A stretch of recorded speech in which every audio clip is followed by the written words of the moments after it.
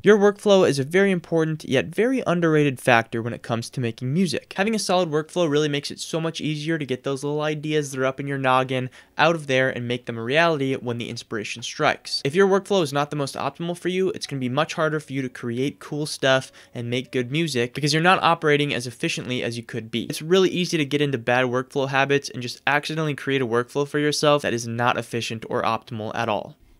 So today, I'm going to show you all how to create the perfect music production workflow for you. So first things first, your ideas have to start somewhere. A lot of producers just sit down in front of the computer, open up their DAW, start clicking around, making chord progressions until inspiration strikes, and that's a perfectly fine method. I do that a lot of times as well. However, what about when inspiration strikes, but you can't exactly do that? Let's say you get a specific idea for a song or a beat, but you're nowhere near your computer or your instruments or anything like that. It's really important to have some way to document your ideas wherever and whenever. And this could simply mean using the Notes app on your phone. At least on iPhone, there's a feature where you can press the little camera icon and you can record a video of whatever your idea is right there. I also use Notion for a lot of stuff. There's a mobile app and there's also a computer website version. It's far better on the computer, but having it on your phone is nice just in case you get a little spark of inspiration here or there. And if you want to go with the old school method, like I personally like doing, bring a little notebook with you wherever you go. Music notes, music journal, whatever you want to call it, and just use that to write down any ideas for lyrics or song structure or chord progressions or anything like that that you have while you're out and about. And you could honestly just use it to write down any bit of inspiration that you get throughout the day. Let's say your phone dies or something like that, you still always got your handy dandy pen and paper. You'd be surprised how many more ideas you come up with when you start putting pen to paper. Something about it just gets your brain kind of moving and coming up with ideas much better. The way that I like to think of it, and many people have said this before, but ideas are not really like yours or mine or anybody's. They don't belong to anybody. It's kind of like they're all just floating in this stream of subconscious and you just happen to, you know, reel one in here and there and you're like, oh, this is mine now now. But if you don't grab it and you don't reel it in,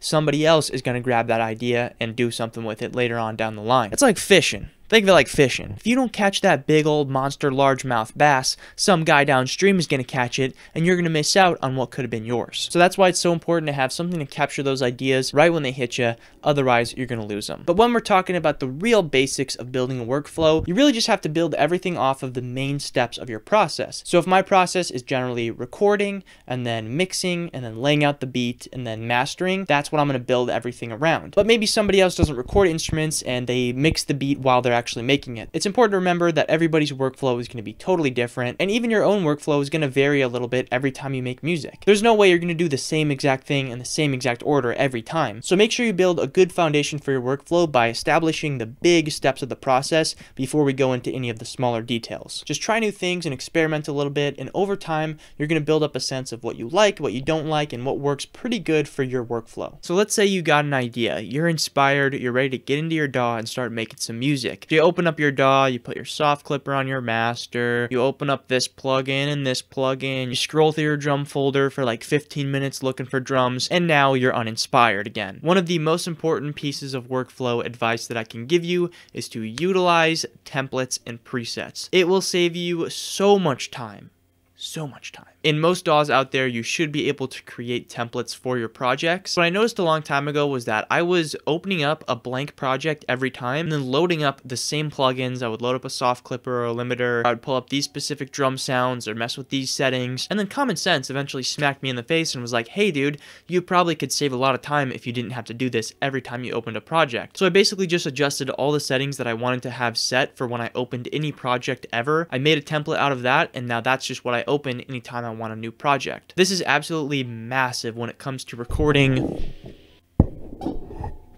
drums. I have eight microphones on this bad boy. That's going to be eight mixer tracks that I have to individually set up and click every single time, put the different EQs and compressors on each one of them, load up all of the six or seven different effects that I have on the drum bus. Doing just that right there takes like 25 minutes as it is. But after I made a preset that has all that stuff set up for me, it now only takes me like 45 seconds to start recording drums. Any plugin where you're doing the same settings every time or process where you're setting it up the same way, just make a preset for those things and it's going to save you a ton of time. So another thing you really have to be conscious about when it comes to your music production workflow is how everything is set up. This can be everything from the files on your computer to the actual gear that's in your studio. Make sure that everything you need or want to use on a regular basis is convenient and easily accessible. If certain things are buried away and not easily accessible, you're not going to use it as much. Out of sight, out of mind, so they say.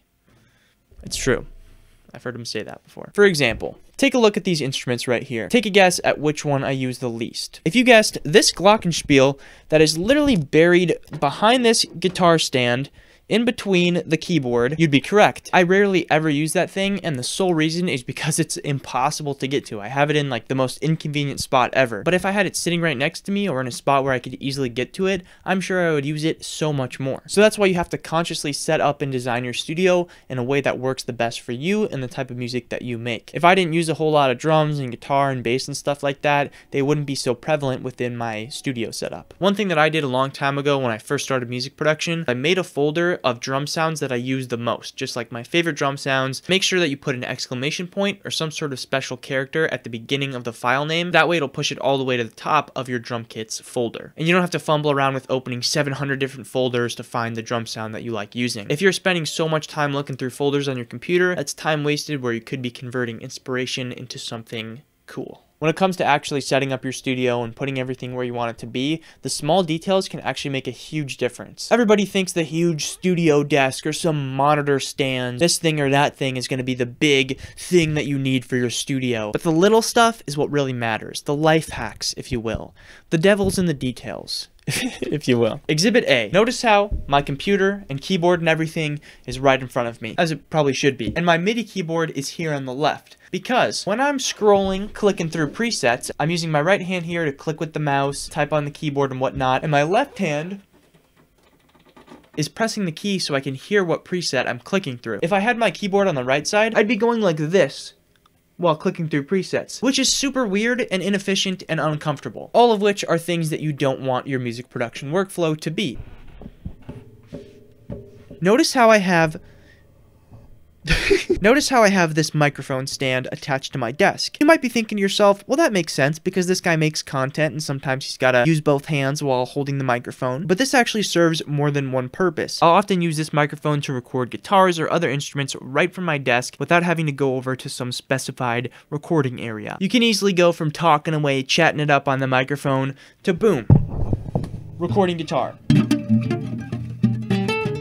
I can even put it all the way up and I can stand and talk or record vocals. I'd recommend everybody get one of these even if you don't make content. And Exhibit C, this actually saves me so much time. I keep a Bluetooth wireless mouse over by the drum set and I use it to press record or hit undo or mute certain tracks when I'm recording drums from basically 15 feet away from my computer. Also, don't get things for your studio that you just literally don't need or not going to use. A lot of people will just watch like an Andrew Huang tutorial, for example, and be like, oh, he uses this microphone or this guitar. I'm going to buy the same one because that's what he uses. When it comes to making making music, the gear that you use is definitely not a one size fits all thing. What works really good for somebody else might totally not work for you. Also, when you think about it, somebody who's only recording, let's say, guitar and bass is going to have a totally different setup from somebody who's an engineer, for example. Just having clutter and a bunch of random gear that you never use in your studio never helped anybody. That's only going to make it much harder to actually get your ideas out and flow better. A lot of times, your outward environment is a reflection of your inward mind, mental self, or whatever. If you got clutter on the outside all around you, then you're probably going to have clutter up here too. A really big part of making your workflow the best that it can possibly be is figuring out where the problems are and then solving them. So having more gear is definitely not always better and I would not recommend just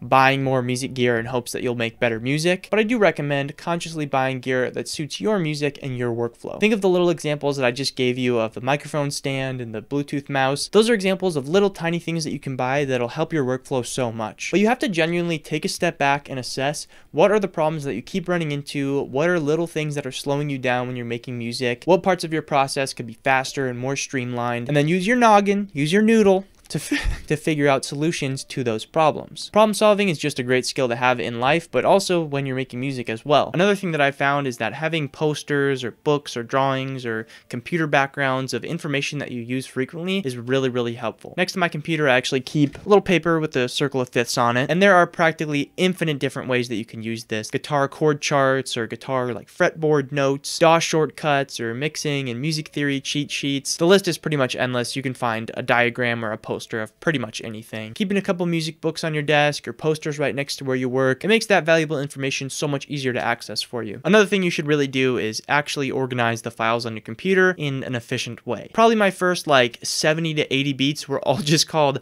Hot Beat 1, Hot Beat 2, Hot Beat 3. Fun fact, the reason I actually did that was because in the video where H3 makes a song with Post Malone, he makes a little beat and he calls it Hot Beat 1. I'm gonna call this one Hot Beat number one because I know that you're about to make so many more hot beats. I saw that video right around the time that I started making beats, and I was like, okay, we're making hot beats now. But I know a lot of you guys name your beats by just slamming on your computer or like calling it what you ate for dinner or whatever, which I'm sure works for some people. But the way that works best for me is to just make up some random name for the beat. Generally, I try to make it a word that is somewhat related to the mood of the beat, and then I'll just put the BPM, and sometimes I'll put the key, but honestly, not very often. Some people go pretty psychotic with this and put like the mood of the beat and put like a whole description description of what it sounds like and all that kind of stuff. And I think that's a little bit much. You can just put a title, BPM, key if you want to. If they're not organized in an efficient way and they don't really have proper names, it's just going to make it way harder to actually finish the beats that you start. And it's going to make it much harder when you look back on your beats years or months from now to actually find the beat that you're looking for. The way that I organize my beats within the folder is I have the year and then I have each month within the year. And then within those folders, I have a folder for project files and I have a folder for finished MP3 files. If you make a lot of samples and you have a folder for that, I would recommend organizing them by mood or by genre or something like that where you can easily be like, I want a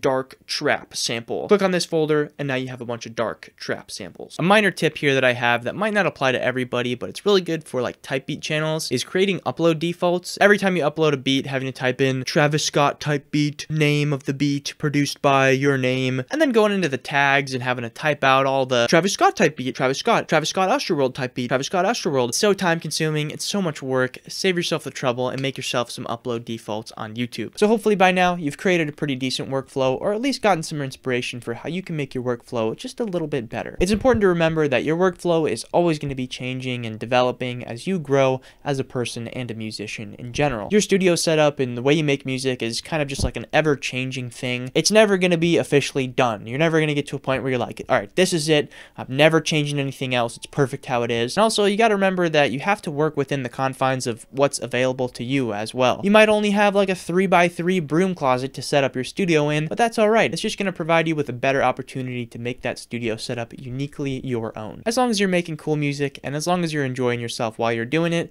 that's really all that matters here. So that is just about going to do it for me in this video here today. I hope you guys enjoyed this one. Thank you all for watching. I hope your music production workflow is even just marginally better after watching this video. Also, real quick, you guys know I don't say this too often in my videos, but make sure that you subscribe because because me and my good friend Coleman, who most of you know as Zol, we're doing a little bit of a challenge. We're trying to reach 100,000 subscribers with both of our channels combined by the end of this year. If we reach that goal, we're going to be doing a non-stop live stream where we can't end the stream until we make an album that you guys are going to help us create. But if we fail, if we fail, we are both going to have to shave our heads. So make sure you subscribe. But anyways, thank you guys for watching. Instagram and all the other social media stuff is down in the description below, and I will see you all next time.